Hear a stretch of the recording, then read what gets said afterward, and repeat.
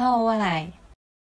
每周四圣宣法师全球直播精彩课程，古老佛法、新潮活法，现场课堂高能量七百到一千能量阶，千万别错过哦！授课细节，主办方佛陀教育基金会，时间每周四晚上十九点到二十一点三十分。地点：台北市杭州南路一段五十五号七楼教室。课程名称：微摩结晶生命实践对话人工智慧二。那个，呃，你们看到今天是谁上榜了？沈荣海，他为什么上榜？你们知道吗？一定是写的非常好嘛，对吧？他的好。是你们所没有的。他自己有他自己的看法，他写在里头。比如说，他里头有提到说，嗯，那个，嗯，嗯，量子就是，嗯，爱因斯坦为什么被量子，呃，力学给打败？是因为爱因斯坦他主张那个是传输的嘛，对。传输的速度就不会不能超过光速嘛，对吧？但是量子纠缠不是运用这种道理嘛，对吧？量子纠缠运用什么道理？好，用什么道理？量子纠缠一定不是用传输的啊，因为如果用传输的话，又受到 c 的平方光速平方的限制了嘛，所以它一定不是用传输的嘛。可是爱因斯坦一直认为量子纠缠就是用传输的，所以他不认同说，嗯，从这里起心动念可以感召千万里以外的人事实地物，他完全不认同。他说：“为什么你们主张说从这里起心动念可以感召千万里以外的东西？是因为这当中一定有人类所不能。”到目前为止没有发现的隐变量，那个蒋荣利，你就是错在这里啊！你刚好相反了，你刚好认为说，认为说，嗯，这个量子纠缠用的就是隐变量啊！所以我说你不要一直抄，你要听师傅解释。你抄了个大半天，你都错，你一篇文章里头错了两个，非常的严重。我等一下会还会再讲到。另外一个你也是错误的，所以你上课真的不要一直抄，一直不断的抄。我在天地教讲课，看到那个罗丽云也是拼命抄，拼命抄。后来我实在忍不住了，我就说：“哎，你们不要抄。”我说：“因为那个我有传那个讲义嘛，我本来那在疗房的时候自己搞搞搞，就嗯那个电脑有问题，就没有办法传讲义给天地教。后来经过王富忠大教授的协助，我在。”大巴上面解决了这个事情，然后就传讲义给给那个秘书长，但是他我不知道他好像没有发给大家。后来他跟我解释说，他那就是说上课就讲座完了以后，他有赶快传，因为他发现这个讲座太重要了，所以他就下放给大家。所以我我在台上我就看到罗丽云一直在那边抄抄，我说你不要抄，你不要抄，我说你会拿到讲义。我那个时候不知道刘小平秘书长没有发讲义给大家了，我当然不知道，因为我在大巴上九点我就发给他了嘛，对吧？所以你们不管上哪一个老师的课也好，我的个性都是这样子，我。到堂上课，我一定是非常认真的听，而不是非常认真的抄。你抄一堆没有用啊！你解释是错的嘛，对吧？这多少的多少次，师傅都一再的强调，千万不要只是抄了，你抄一大把都没用啦，你误解重重嘛，对吧？为什么我一直讲说，你要懂道理好修行？你不懂道理的话。你作死了，人家也不知道你怎么死的呀，对吧？所以一定要懂道理，要善用方法。你看吧，你们做不来的事情，师傅就用改变方法。你看到吗？呃，那阅读量你们做不好，对吧？给你几个月的时间，你做不好嘛，对吧？后来师傅就改变策略，要你一强制你一定要用话题，你再也不能再用关系导向了。你的点赞，嗯嗯，完全不行了。新的策略还没出来以前，总是一百三、一百四，完全没有办法达到一百七，完全不可能。后来师傅是不是又使出一套方法？现在你们可神了呢，对吧？现在今天不到十点，你们就达一百七，然后尤娟跟我讲，新的基本线是 一百七十五。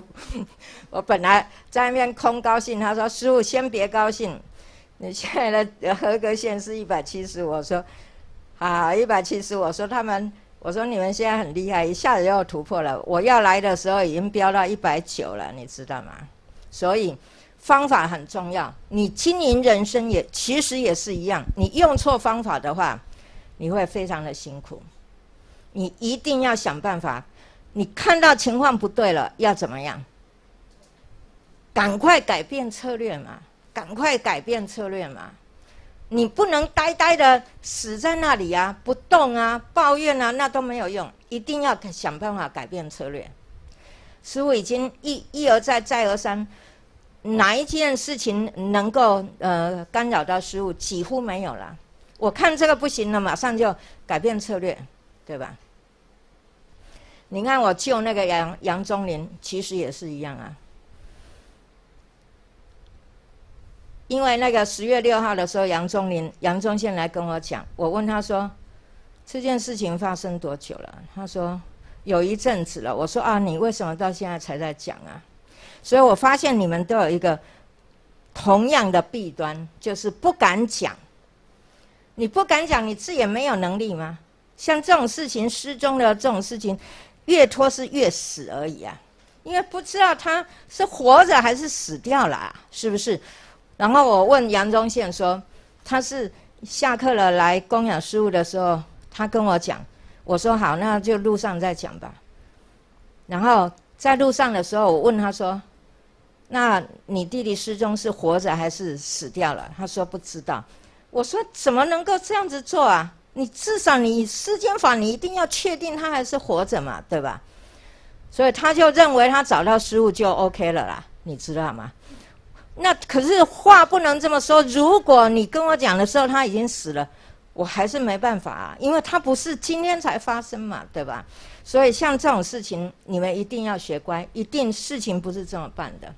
你事情发生了，你就要赶快讲，你千万不要拖拖拖拖到都救不了了。就像黄淑娥的先生那个陈嘉伦，这边长那么大的一个瘤了，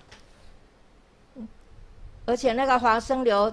开这个颈动脉是极度危险的，黄淑娥也是都不都不老实哦，他已经好几次被师傅逮到不老实了。那是那一个学期最后一堂课，因为马上就要过年了，然后，然后嗯，在靠近车场的时候，他还问我说：“师傅，你知道华生瘤吗？”我说：“知道啊。”我说：“那个很危险，在这里。”呃，不容易开刀，要开也不是，不开也不是。然后我说有什么事啊？他说：“哎，他说那个陈嘉伦好像这里有，好像这里有一个华生瘤，好像其实那已经都确定这么大了嘛，对吧？瘤都这么明显这么大。”我说：“那他要开刀嘛？”他说：“好像没有。”结果就后来一月二十五号，我们不是开那个。呃，人生小宴加无尽灯之夜有没有？对，那人很多嘛，对吧？来参加的人很多。然后，因为那个时候陈嘉伦没有来上课嘛，所以，呃，我我就跟那个黄淑娥讲说，你一定要接引接引陈嘉伦呐。我说他那个我在回向的时候观想他那个流不是好事情。我说你一定要想办法接引他来。他说。哎呀，师傅，我是没有摄受力。我说好吧，你没摄受力，我来吧。我就发了一个请帖给他，叫他要来参加那个，嗯，那个什么，对，人生小宴，对，他就来了，他就当贵宾坐在我旁边的旁边。然后，比如说我坐在中间，这边黄国义，这边陈嘉伦，那这边就是我们的弟子嘛。这边很多，呃，张慧珍坐在这里，他看陈嘉伦是不是看得最清楚？因为陈嘉伦的流刚好在这边嘛，所以张慧珍下结束了以后就来赶快跑，用跑的跟我讲说：“哦，师傅你一定要救他。”他说陈嘉伦这边有一个肿瘤，好大哦。我说听听说他不要开刀，他说没有。我跑去问他，他说开刀的日子已经确定了。你看，黄淑娥又骗我，对吧？所以他已经多少次了？像上次参加那个卢静怡的群组，他也是死不承认嘛，对吧？这种非常坏的习惯。后来我就把陈嘉伦找来，我问他说：“你是不是已经确定要开刀了？”他说：“对。”我说：“哪一天要开刀啊？”他就跟我讲二月，好像是二月十三号。可是他讲那个日子哦，是礼拜天呐。啊，sorry，是礼拜六。然后后来他就有来上课哦，有来上课，有来上课了以后，嗯，大家都在讲，我就说啊，要请大家为他回向。然后我说他那一天哪一天要开刀。后来下课以后，在电梯口，大家都说。那一天是礼拜六啊，根本不可能开刀。可是陈嘉伦一直执意说他就是那天开刀。然后黄淑娥说：“不是吧？因为那天是礼拜六，礼拜六哪哪有可能？”我他好大声哦，就骂黄淑娥说：“就是那一天。”结果后来证明谁错啊？陈嘉伦错嘛，对吧？所以人不要脾气太大，你脾气太大了，很容易长瘤啊，长那什么恶性肿瘤啊，嗯，那呃很多的很多的病是你从你的内心爆发出来的那那个怨气，所以一定要特别小心。对，所以我我就说，不是有一次我说啊，陈嘉伦不来上课也很好啦，你比较自由嘛，对吧？嗯，然后。我就说，黄叔啊，你你们陈家伦没来，你表现比较好，因为他，你从他们夫妻的相处看出来啊，他是长期被压制的状态，对，那那这个能够怎么讲？这个就是累世的冤债嘛。能够像王富忠跟王慈锦那样子和谐相处的，老实说，非常的少了。对不对？给他们贤康力掌声。再说，能够像林柔跟谢明忠的也是非常少，对不对？对嘛？所以还是要给他们掌声了。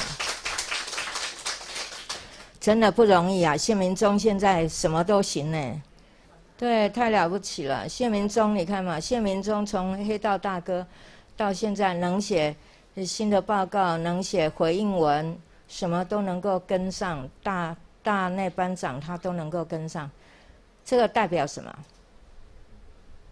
这代表什么？跟对师傅，用对方法。你一定要有方法，你没有方法的话，你上 N 多课还是没有用。一定要有方法。你看到我们班上的同学几乎肃清了那个呃负能量以后，几乎每一个都跟上。对吧？没有一个跟不上，哪有谁跟不上啊？以前呢，沈荣海不是都跟不上吗？都跟不上吗？林惠美也都跟不上吗？那为什么？因为那时候好多人都不写啊，大家都有样学样啊。所以为什么要开除负能量？就是这样，让你没地方看嘛，对吧？才不会互相互相的投投射负能量嘛。开除了以后，你看不都写得很好嘛，对吧？所以沈荣海上榜有他的原因，他有他自己的想法，但是当然他第一次上榜，每一个第一次上榜的都不是那么理想了。他的不理想在哪里？他们贤康力犯了同一毛病。师傅讲看视频的时候，你在课堂上呃呃去分享那个视频，可不可以再讲那个视频的内容？可不可以？当然不可以啊！大家都在看那个视频，大家都知道那个内容了。你要写，你要讲一堆那个视频要干嘛？一样嘛！你写那个，你写新的报告的时候，那谢谢我自己来。你写新的报告的时候，你也一样是不能。不能要把视频的内容写写的清清楚楚，是什么三十年前的面店呐？哎，那个小朋友又偷什么？你写那些要干嘛？你看到吗？师傅，师傅的那个，嗯，挂出去的那个教学乡长，我一定会提到开场视频是什么名字？你们都没写开场视频是什么名字嘛？对吧？开场视频是什么名字？描述什么？一句话顶多二十个字，一定要了结掉。一样啊，我帮沈荣海改他的上榜文也是一样，不可能长篇大论又在那边描述，嗯，描述那个开场视频，谁要看呐？没人要看你的文章就不值钱嘛，对吧？你的文章是必须要怎么样？要精辟入理，你要让大家感受到你的文章是非常高档的。所以你看，我有一个群主是叫企业家，全部通通都是企业家，他们每一个都点赞。你要知道，那企业家都是忙到不行的，但是他们每一个都点赞，因为我也有跟传那个传给你们说为什么要点赞，那个我有传给他们。然后他们以前都在自己的群组点赞，后来后来我就说你在自己的群组点赞。我没时间去关注你，因为九点以前点赞的，我一定老实为这些人回向嘛。我说，所以你一定要赶上九点以前要点赞。他们都是有智慧的人啊，讲一次他就听懂了，第二天他就全部那个企业家群主全部都点赞，全部。我就说，你看这样子的姻缘多好啊！六岁就能够听闻文书法教啊，对吧？这真的是好大的福报。不管他听不听得懂，至少他已经开始熏习了嘛，对吧？这就是了不起，我们给他掌声鼓励。这么大的福报，对吧？是啊，嗯。哎，马吉也也很了不起，对，马吉啊，你这三句不离本行了哈。好来，one two three go，啊，王护中对。师傅，各位学长，嗡啊，比较红恰转。是。哎，那我看这张图，就是有，就是会觉得他可能比较像是一个，你可以，我我的感觉像是一个宇宙中的一个很多的星系，但是也好像是一个，讲我们讲说一个那种。那很多粒子在那边纠缠的感觉，那我就想到说，跟今天的课程就会想到，就是第一个部分就是，如果从从宇宙来感觉，感觉就好像它一个，你可以把它想成说，它有一个原点，然后不管是大爆炸还是怎么样，就是产生了很多宇宙的万象这样子。那它其实也是呼应我们生命的起源原点，可能就是从一个呃终极本质，然后就是绽放出所有的很多宇宙万象来。那那另外一个。我刚才有提到说，但它其实也很像，你也可以把它看成是一个很多的粒子在那，因为有很多粒子嘛，然后很多线条，那好像就是他们在那边缠绕啊、纠缠这样子，那就感觉到又很像我们在讲量子纠缠。纠缠。对对对，然后就是会变成说，这些东西其实感觉起来，它好像是有一些是轨迹，但是又有一些好像是散布的非常的的的的的，嗯，不就是不规则啦，就是说，所以。就是有点像我，是我我感觉到就是之前有讲过是量子，呃，可能呈现有一些失序的状态，但是它也可能会回到有序的状态。那这个失序跟有序，它其实就是一个，其实都是在现象界我们里面的一个呈现。那我们去把这个这样子一个状态，其实去提拔高思维以后，其实就回归到我们真正的终，就是我们终极本质里面，就是如如不动的。嗯，这个部分就是我们在讲心理结果里面最最重要，就是我们终极本对，我们都要终极本如如不动。嗯，如果说你从呃量子纠缠，呃，如果说这张图是量子纠缠，你怎么切进生命的奥秘，还有心灵结构？新人课就是因为师傅还是会讲的比较浅，像方雅云也是新人，辛迪呃也算是新人，苏伟成也是新人嘛，所以我会讲的比较浅一点。那嗯，但是比如说上个礼拜我们也是新人新人课，但是书还是会有一些讲的很深，对吧？对，就是要兼顾啦，兼顾旧生跟新生。对，来，如果他是量子纠缠的话，怎么切进去生命的奥秘？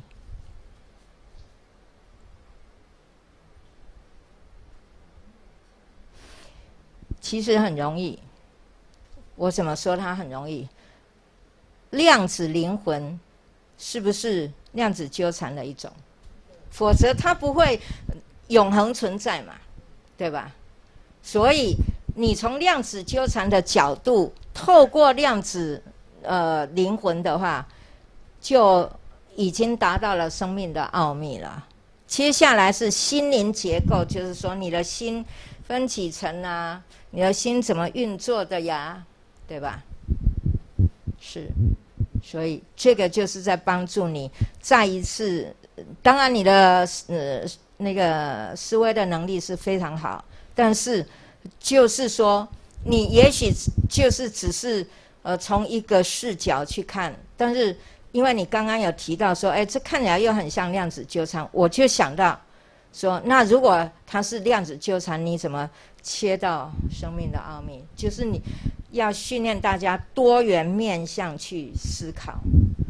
现在的时代，跨界融合是很重要。跨界融合，你千万不要只停留在呃佛教嗯的义理，你佛教也要能够跟嗯。量子力学对话，佛教也要能够跟心理学对话，你佛教也要能够跟基督教去对话，你的生命才会绽放光彩，你才不会死在佛教的领域里。太狭隘的话，就是变成固执了嘛，对吧？就像比如说，嗯，那个那个严杏林。其实我很早已经预知他可能撑不下去。他虽然看起来表现很好，但是他最大的致命伤是什么？最大的致命伤不就是固执吗？对吧？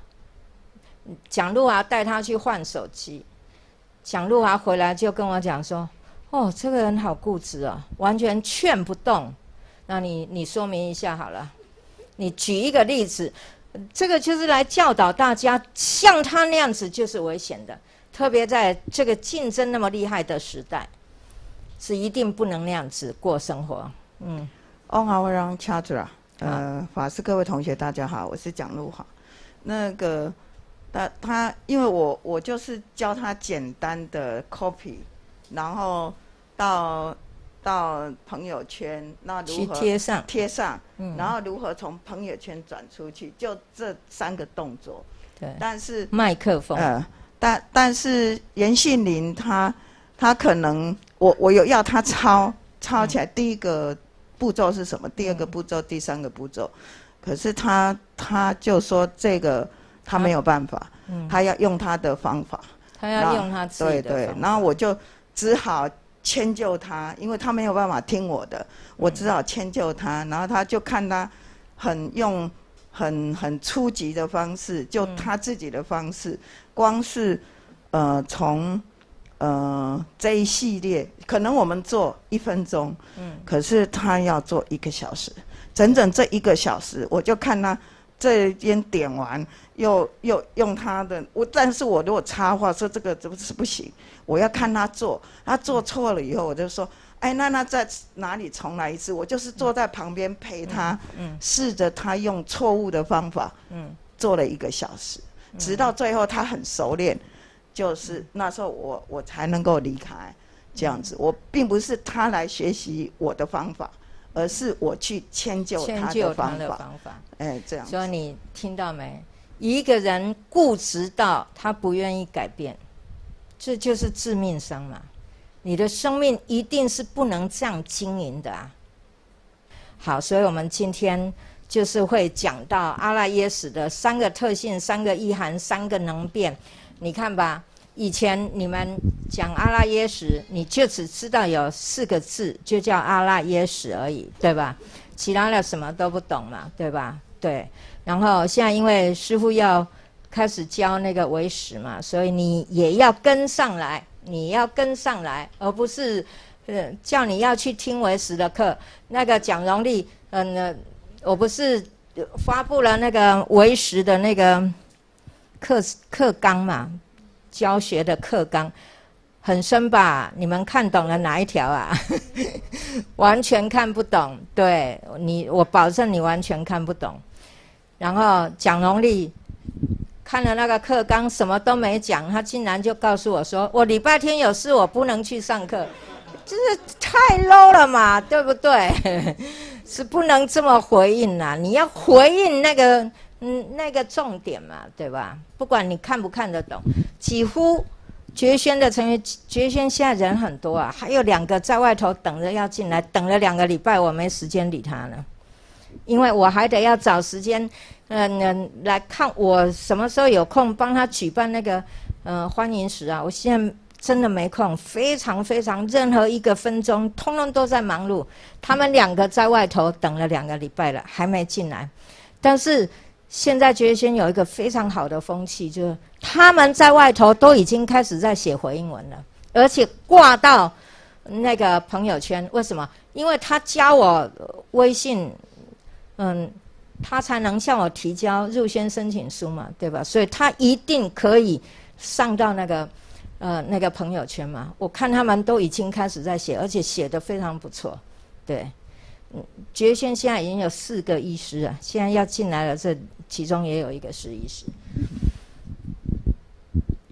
那，呃，我我要讲的就是说，你一定要为什么？你看，像在台湾就推动什么都很困难，在中国大陆在觉轩推动什么一下子就推动了，就全面了。为什么？你认为原因出在哪里？比如说道客，你们推半天，哎，只只有那个沈其君有有接引成功，呃，苏苏伟成啊，我们给沈其君加油啊，谢谢，非常感恩。那你看道客这么简单的事都不容易，对吧？觉西轩训练呢，那个训练是从起早从五点一直到晚上十点呐，对吧？那人家为什么那么多人在外头等着要进来？你认为差异在哪里？要把你丢到绝仙的平台，你现在嗯不在绝仙的那个那个氛围里头，没有啊？绝仙的严苛你根本没有感受到嘛，对吧？要你五点起身，你做得到吗？像庄先立跟呃尤娟都是三点就得要起身呐。对吧？你做得到吗？你想都不敢想，对吧？要你五点起身，你做得到？每天哦，每天哦，你当然做不到啊！你连尝试你都不愿意尝试嘛，对吧？所以你有进入绝育轩的训练的氛围吗？没有嘛，当然没有嘛。你只是嗯，还在外头跟着跟着跟着跟着这样子。你几点起身啊？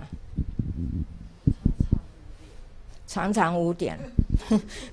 但是你没有签到，所以 who knows，对吧？是呢，所以那都绝宣真的很严呐，非常非常严。但是你看得到他们的进步，你要推动什么绝宣，非常快，马上就进入状况，非常快。然后每一个为什么那么多人要加进来？这么严，为什么那么多人要加进来？他看到他的困境改善了嘛？他的财苦改善了，他的病苦改善了，他的官司解决了嘛，对吧？看到各个人生的困境改善了，这个就绝轩厉害的地方。好。Pinnacle of success in the business world. In others' eyes, my life was an epitome of success. However, aside from work, I have little joy.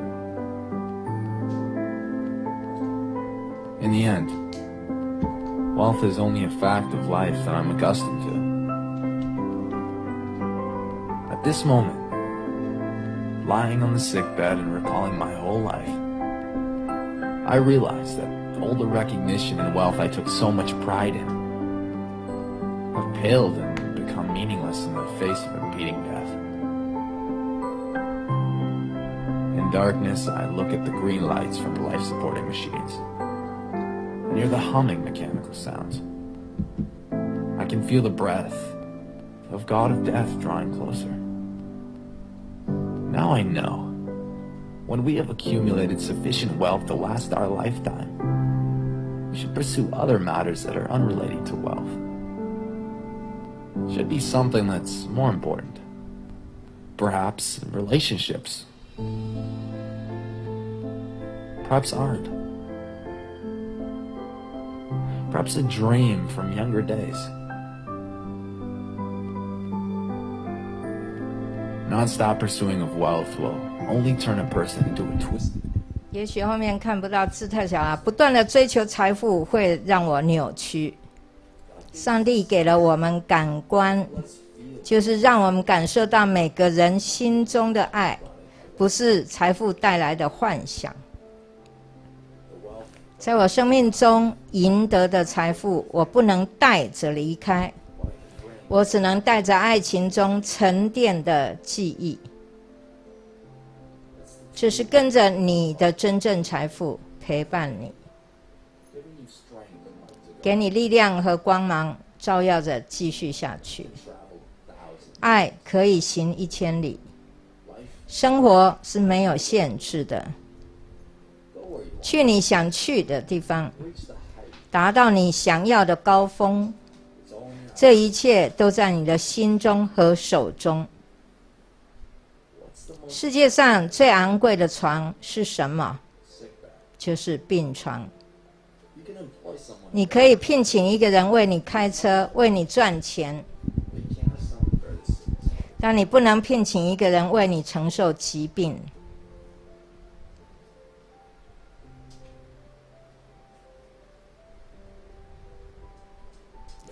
物质的损失是可以找回的，但是有一样东西失去了是永远都找不回的——生命。当一个人走进手术室时，他会意识到有一本书他还没有阅读完——健康生活的书。无论你现在的生活属于哪一个阶段，随着时间的流逝，你将会面对窗帘下降的那一天，就是面对死亡。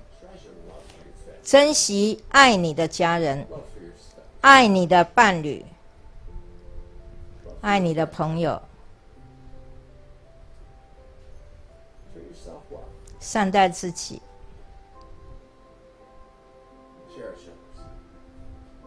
爱惜他呢，应该是 cherish，应该是翻成珍惜会更好。珍惜他人，他只有五十六岁，享年五十六岁就走了，留下三个女儿和一个儿子啊。好的，各位同学，我们刚刚已经观赏了呃贾伯斯生前嗯最后一段谈话视频啊。那这个视频的简介，师傅嗯大致上讲一下。嗯 Steve Jobs，贾伯斯，中国大陆翻成乔布斯哦，就是苹果的创始人。他在生前的一个醒思，他强调世界上最贵的床就是病床，病苦最苦，因为无人能够替代。那么什么是成功呢？所以我们应该进行醒思一下，贾伯斯的成功在哪儿？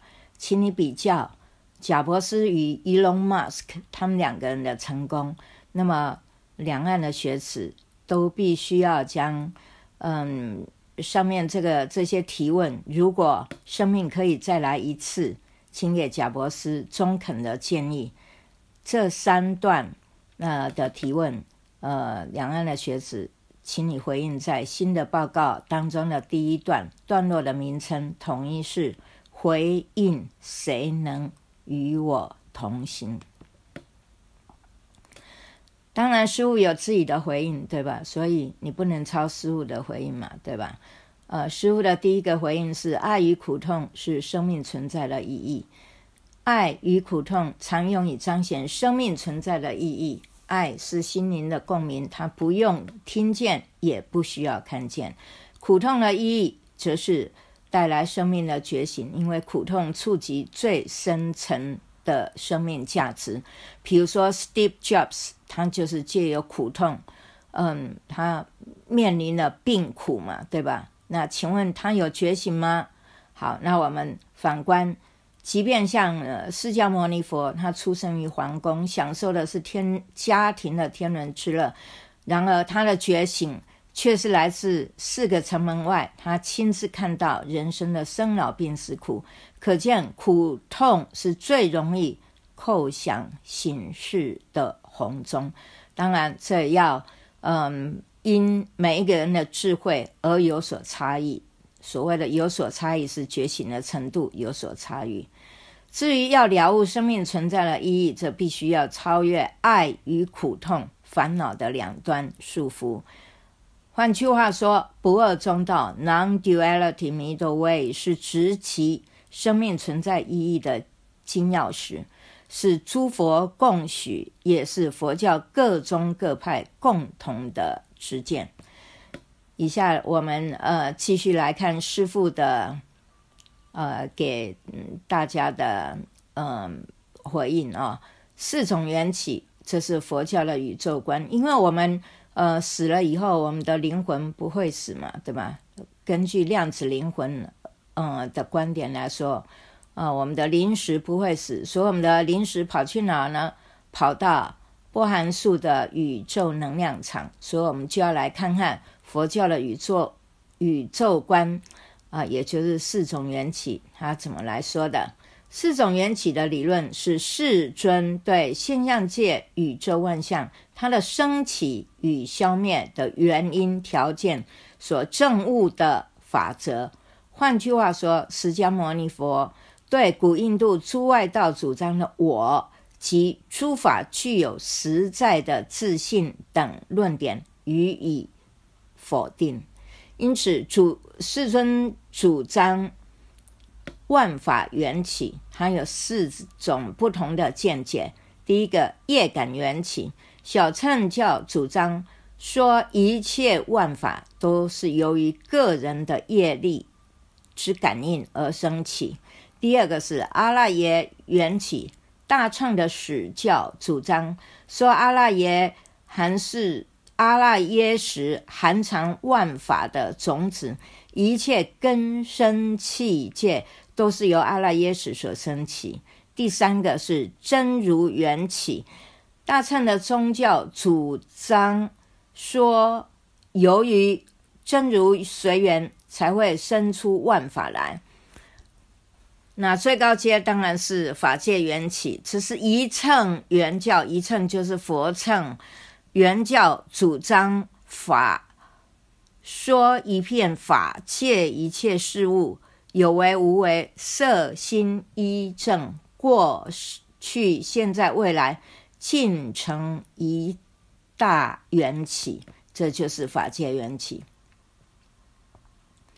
那么接接下来分享，嗯，凡分的凡夫的小爱，他是没有办法圆满圣收的。啊，所以这边要看匡正一下社会的视听哦。凡夫小爱，他是没有办法圆满圣收的主要原因是：第一，占有，就像贾博士，他也是占有呃伴侣，占有他的 Apple 产品等等，占有是错误的出发性，错误的起点，当然无力兼顾彼此的付出。第二，共享的基础是互益，例如，嗯。夫妻共同有共同的兴趣、共同的三观、世界观、生命观、价值观等，但是通常彼此是互益的，所以不容易培养同甘共苦的深情。第三个是同理心，就是这是爱的大前提，就是同理心，培养同理心心 （empathy） 才能够成功地试穿他人的鞋，最终升起真爱的第一步。贾伯斯截至临终的一刻，展现出来的都是凡夫小爱，在生命的长流中缺乏与宇宙同频共振的基础，这就是小爱的小善的弱点。当无常来临的时候，立刻倒地不起。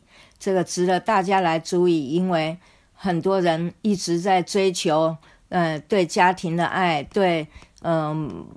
配偶的忠诚只是这样吗？活着只为了这样子吗？那也是太危险了。接下来分享三乘人的大爱，这个还不够就近，这只是中途取证而已。但是它强过凡夫小爱，真爱无限，无缘大慈，同体大悲之二。三乘人的大爱是指众生缘慈悲。法缘慈悲，三乘指的是声闻乘的阿罗汉，缘觉乘的最高是必之佛，以及菩萨乘最高是登地的菩萨。这一类的贤达圣人展现两种高于凡夫之爱。第一个是众生缘慈悲，意指凡夫或未断烦恼的行者所升起的慈悲，他是对一切众生都是如同父母兄妹。亦或眷属，因此他才能够经常升起，嗯，娱乐拔苦的心。然而，这样的爱，大前提是将众生视同亲生眷属，这是严格的执着。可见，众生缘慈悲仍然具足我执的束缚，必然升起烦恼。第二点就是法缘慈悲，进一。步破除对我的执着，对众生愿意随力随份拔苦与乐，这是以断烦恼、达于法空的三乘圣人所升起的慈悲，还不是就近的慈悲。综而观之，以上三寸人的慈悲，显然未达到圆满境界，一样容易升起烦恼，因此。只属于中途取证。接下来我们要来分享诸佛最就近圆满的，嗯，无缘大慈，还有同体大悲。诸佛真爱无限，无缘大慈，同体大悲。诸佛展现对众生的慈悲与特质，是真爱无限的终极体现。它应该具备两大特质：第一，最圆满慈悲视线，超越人我宇宙万法各种外外向的执着。根据这一点，超越三乘人的众生缘慈悲以及法缘慈悲，因此呈现最圆满、没有我执束缚的慈悲。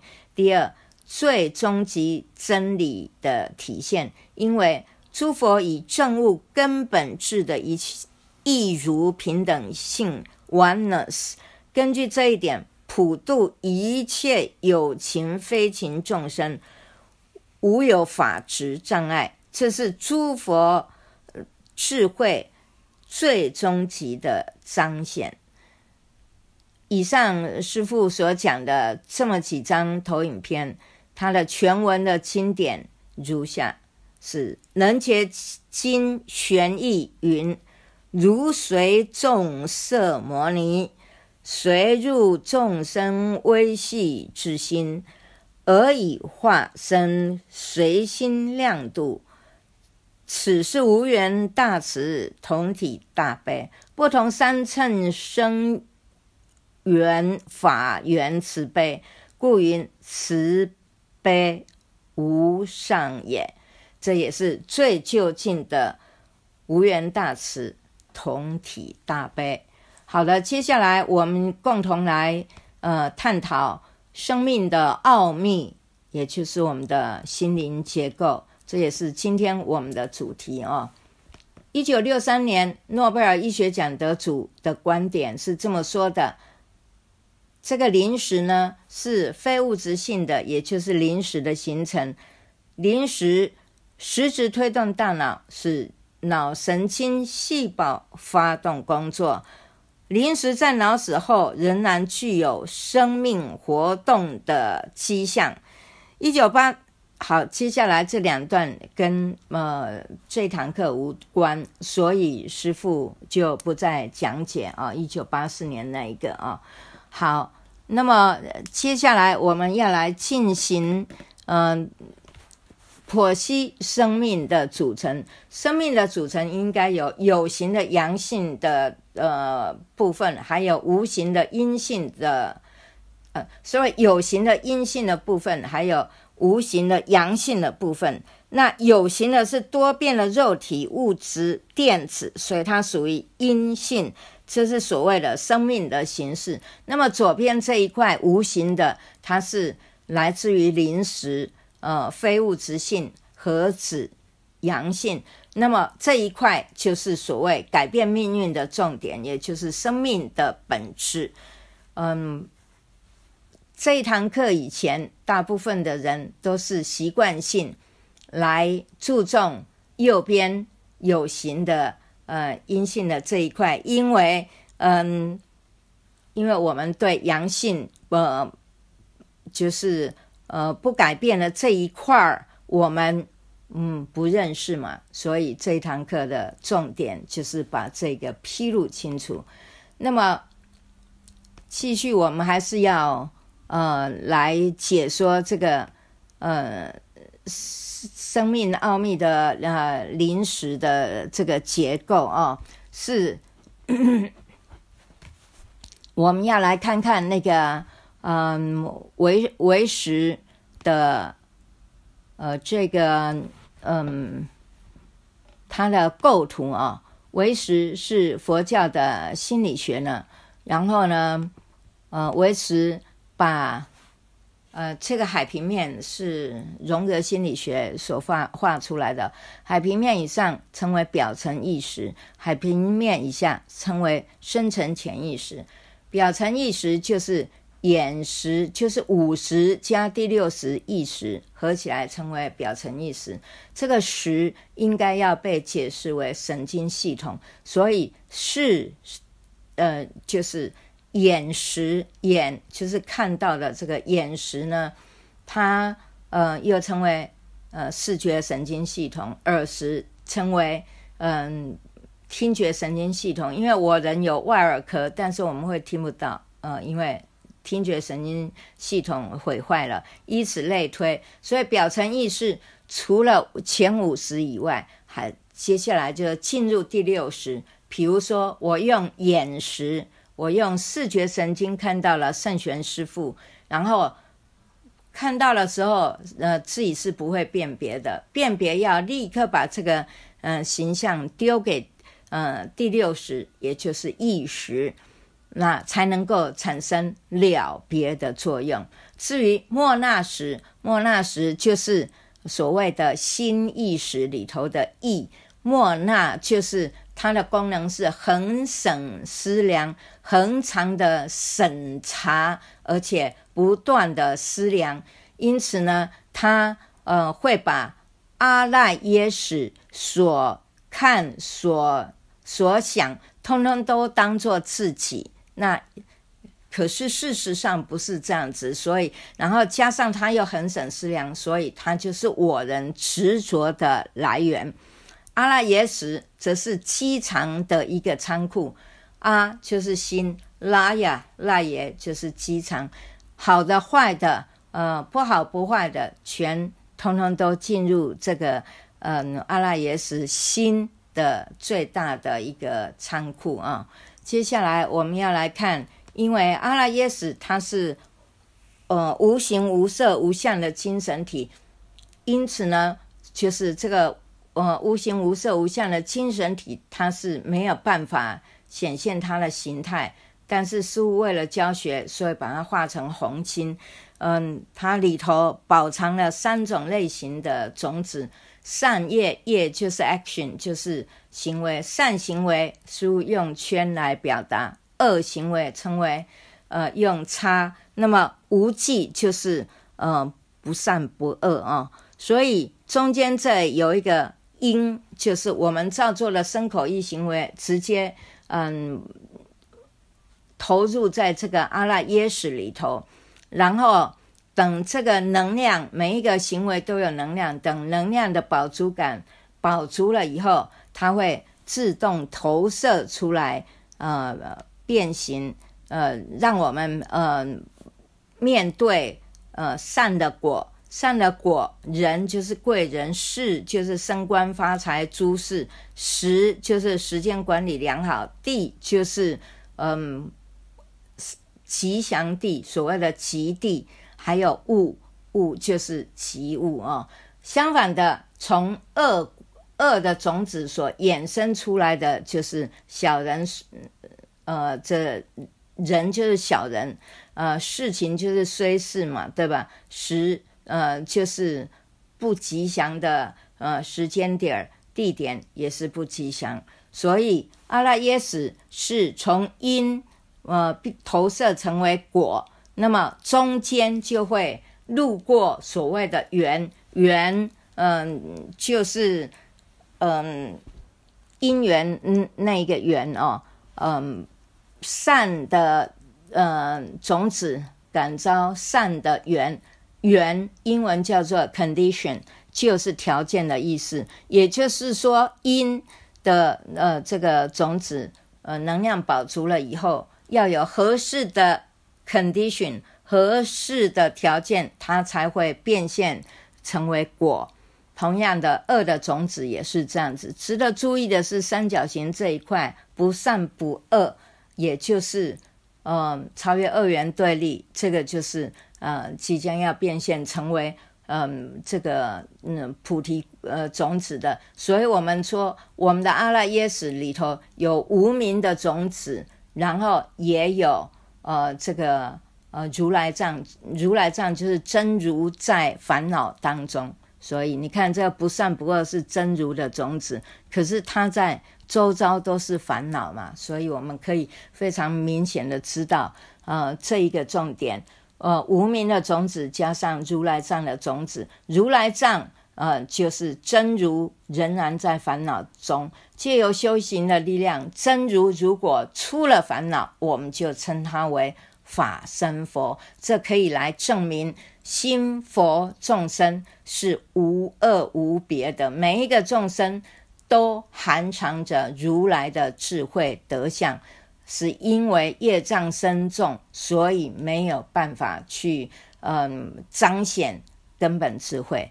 那接下来就要来说明，嗯，我们的阿赖耶识有三个嗯特性，三个呃这个意涵，还有三个特质啊。第一个是阿赖耶识，它的三大特性是阿赖耶识又称为易熟识。一时而熟，在嗯台北造作，嗯，也许未来成熟的果是在中国大陆也说不定。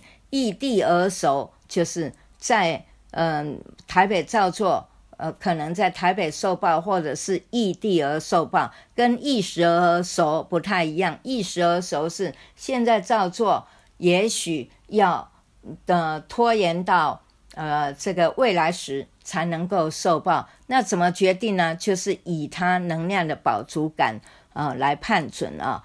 第三个就是能量涉及中，不是不报，而是时候未到，一定不要心存侥幸哦。好，接下来我们要来看，嗯，就是嗯阿拉耶识的第二个呃。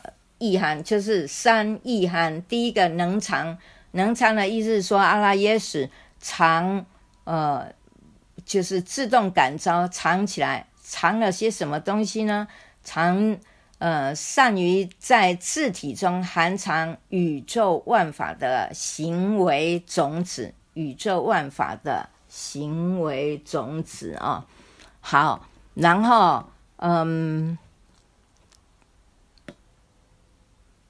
接下来所藏，所藏就是就现行的熏习的种子而言，所藏指的是第八阿赖耶识，是第七末那时执着的那个意识，转识熏习诸法的场所，所以称为所藏。所以所藏是针对第七阿赖耶识、第七莫那识而言说的。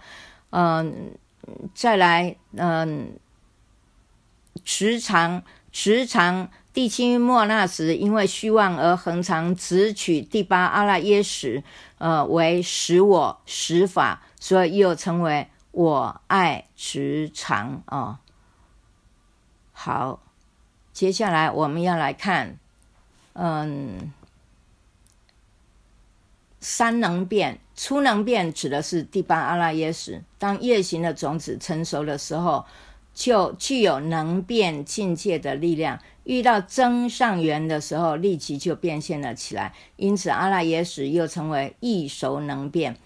次能变，次能变指的是第不呃第七莫那时叶的种子虽然成熟了，然而它也要依赖莫那时不断的执着，说第八页阿赖耶识是我一直不断的执着，而且发挥它的恒省思量的作用，让现象界存在。所以莫那时又称为思量能变，也就是所谓的次能变。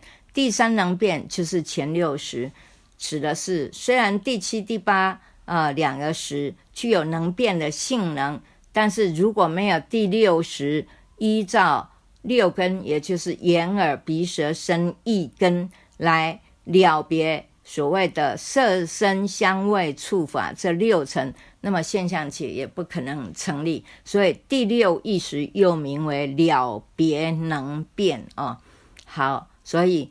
第八阿拉耶识是易熟能变，第七呃莫那识是思量能变，第六嗯意识是叫做了别能变。重要的提醒是说，累世众生生口意行为能量的种子被详实的记录在阿拉耶识，这些种子必须要透过上述上述三种能变，才能朗现成为现象界的风花雪月。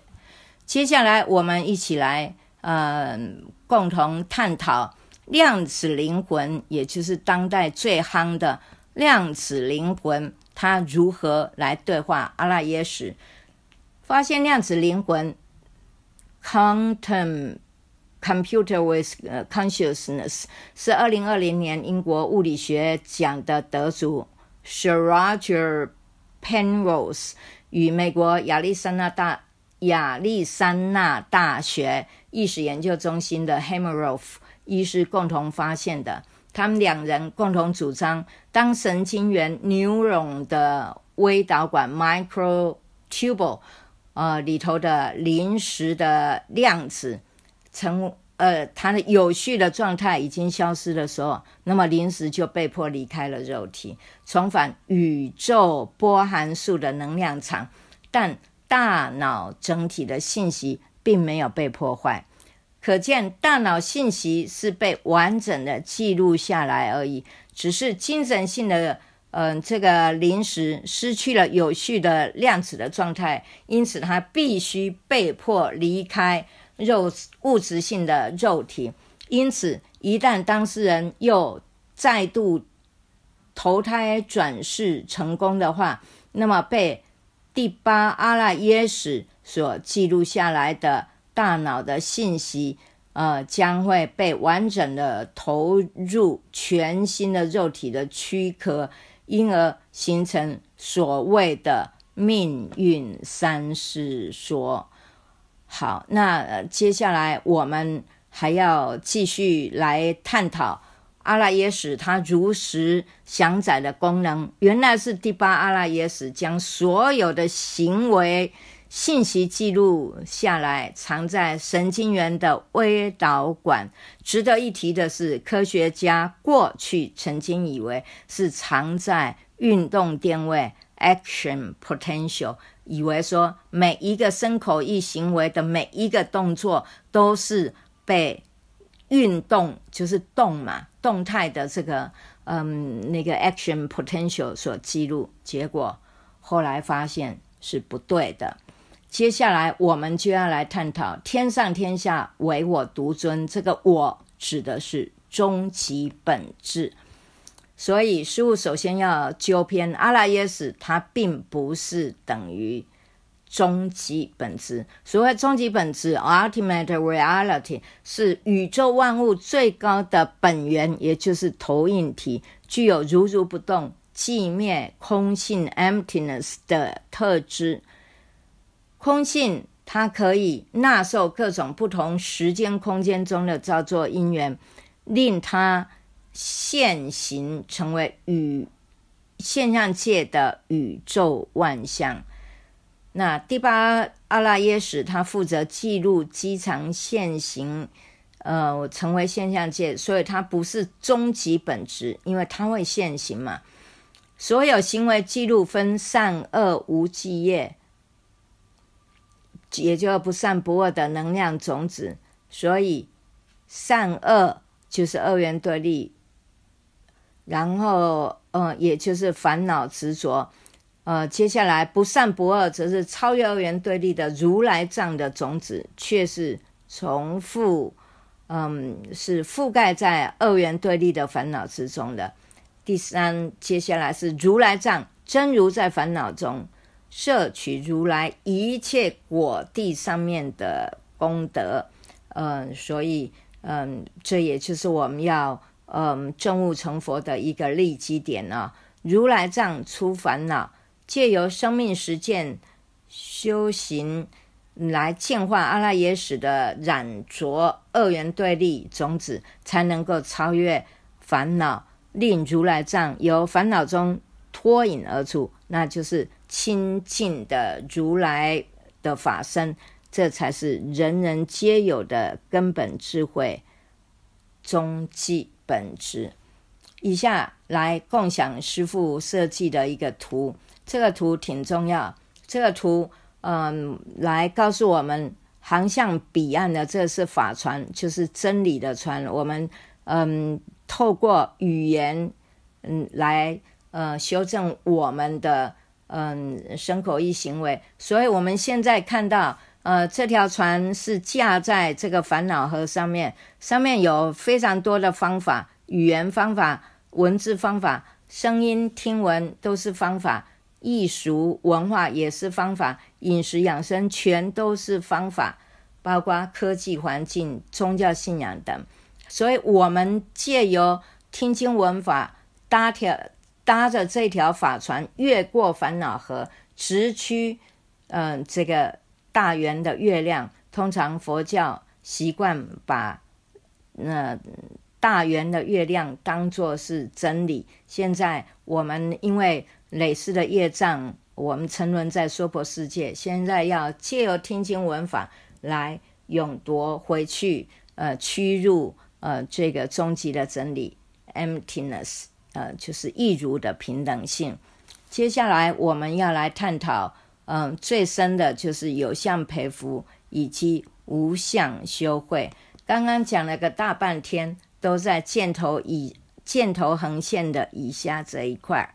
嗯，就是前世的主因加上今生的助缘，呃，就会形成今日的果报。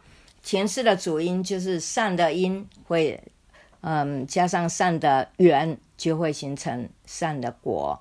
以此类推，师傅是每天两呃一点以前就起身向弟子恭请早安，所以这一个动作也是呃在积累呃更高能量的呃这个呃修行的功力的种子，以利度化更多的众生。所以这个横杠的这条这条大的呃箭头特别标志出来，直觉法是。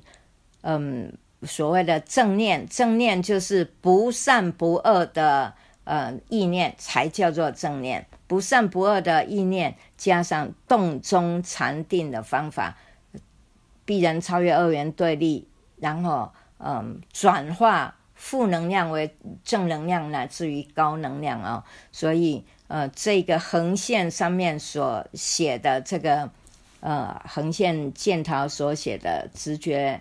法是特别特别重要，因为它已经是被公认现在唯一能够亲近意识的嗯一个呃工具，也就是方法论啊。接下来我们来看一下呃更多的升华。呃，这个三角形呃是 Marshall 人本呃心理学之父 Marshall 他所提出来的。嗯，我们刚刚有讲，借由他的论文，呃，然嗯，就是说借由这个因果律呃的这个解说呢，呃，我们可以知道因果律，嗯，它是呃有像在培福，呃，方法有诵经念佛持咒，还有。忏悔啊！但是他嗯培育出来的，因为他没有超越二元对立，所以他培育出来的嗯这个行为种子都还是落在有相的培福。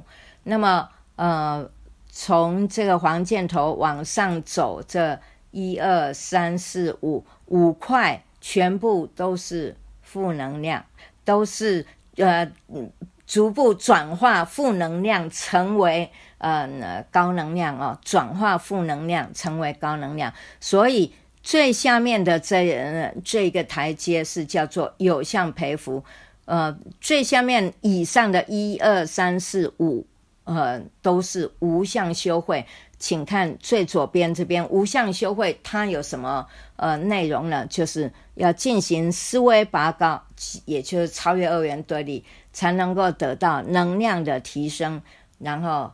为什么要能量提升呢？最主要就是要彰显彰显我们的根本智慧，来提升我们的国位，最后圆满。呃，这个合一指的是我们的现象界跟终极本质的合一状态啊。接下来我们要来呃经典援引，呃，因为这个是配合贾博士的生病，所以师父找了呃这一段经文，就是。维摩诘经文殊问疾品里头所提到的众生之病非实有，呃，经文是这么介绍的，就是说，嗯，众生之病非实有，来自于维摩诘经文殊问疾品。以下经典释义：如若凡夫自身不断烦恼，却又对众生升起救度的大悲，这是愚痴想。换换句话说，要断烦恼，要超越烦恼。嗯，这个呃，如果有如实来做，这个是呃，超越烦恼，就是指的是无相呃培福，也就是呃，这个思维的升华。思维一升华起来的话，众生立刻兴起，嗯，这个超越疲厌的想法，因为呃，烦恼才会令人疲厌嘛。所以，呃，烦恼的那一个方法应该要舍离，要呃培养超越二元对立的方法。老子的《道德经》第十三章也做出了类似的教导。他说：“无所以有大患者，为无有生；即无无生，无有何患？无人有病苦，无人有病苦等大祸患。”源于对波动频率比较低的肉体呢，兴起了执着的，也就只有的这个意念。反过来说，如果嗯超越这个执着，那么我的身，我的身体如何可能有病？有病是因为我的意识落入了呃呃这个现象界的负能量两百以下。我现在想办法要升华我的思维。变成超越二元对立，那这样子的话，我如何可能继续受到病苦呢？呃，所以，嗯，接下来就是要来呃强调说，执着的负能量，嗯，与粗重的肉身属于同一低频共振，带来的就是祸患。我仍摄取诸佛圣人的高能量。为起身带来，嗯，这个高频共振、互补长短、超越二元对立，才能够，呃，迈向终极本质佛性与现象界，嗯的这个肉身圆满合一，达到同频共振的最大化。换句话说，众生病源于执着的攀缘，而非嗯、这个真正的有病。